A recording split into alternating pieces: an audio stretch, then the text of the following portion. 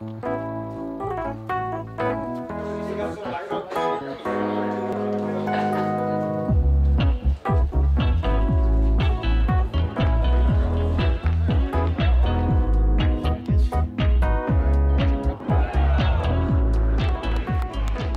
I've been fortunate enough to have played for Ulster and, and Ireland and played with some great players. And then on the managerial side, I've, I've worked with some of the younger players who have, who have come behind me, the O'Garas, the O'Driscolls, Stringers, Horgans, etc.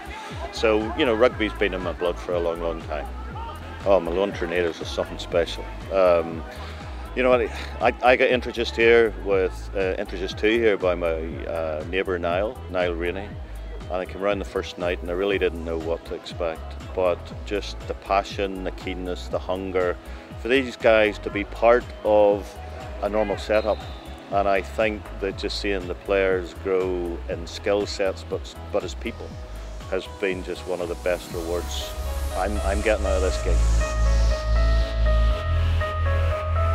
Well, look, you know, mixed ability. Well, I've already spoken to a few other clubs and some of my, my peers, um, you know, in diff different areas of Northern Ireland. I think it's a great opportunity because we talk about mixed ability and everyone has got a different level of ability.